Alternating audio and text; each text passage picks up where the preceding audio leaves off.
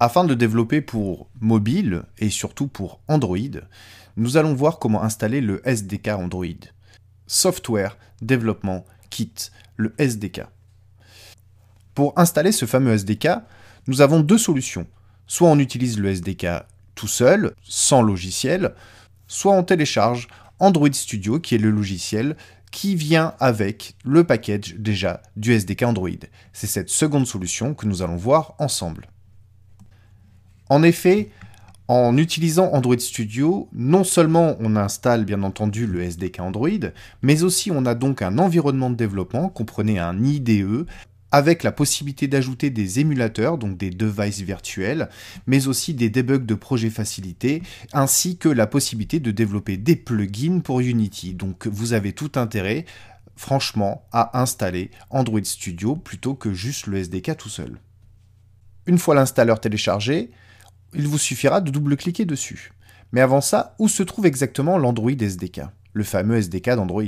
Vous allez aller dans Utilisateurs Desktop, Bibliothèque Android SDK. Attention, ajustez bien le nom d'utilisateur. Pour moi, c'est Desktop Alto. Pour Windows, ça sera sensiblement la même chose. Ça vous permet donc de savoir où se trouve le fameux Android SDK. Il suffit donc maintenant de double-cliquer sur l'application pour ouvrir la pop-up d'Android Studio, mais on ne va pas lancer Android Studio, cela ne nous intéresse pas, nous ce qu'on veut c'est juste configurer le SDK. Configure, cliquez sur SDK Manager, et vous avez ici accès à l'intégralité des versions du SDK Android.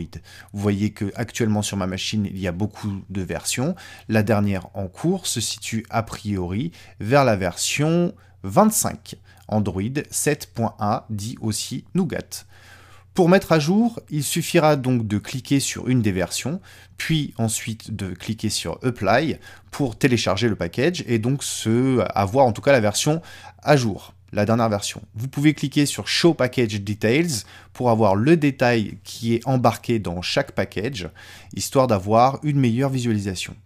Il est aussi intéressant de noter l'onglet des SDK Tools qui va ajouter en fait et vous permet de savoir ce que vous avez en fait d'installer parce que les Android SDK Tools vont nous permettre pas mal de choses, même si tout ça est silencieux pour vous, vous n'en avez pas forcément conscience, ces euh, SDK Tools sont aussi importants au même titre que les Google Play Services.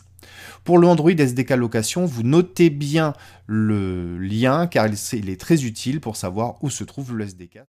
Et voilà, vous êtes prêt donc pour le développement Android, le SDK est installé sur votre machine, reste à voir maintenant ce que vous voulez en faire, soit développer du Android pur, soit ou et peut-être développer pour Unity.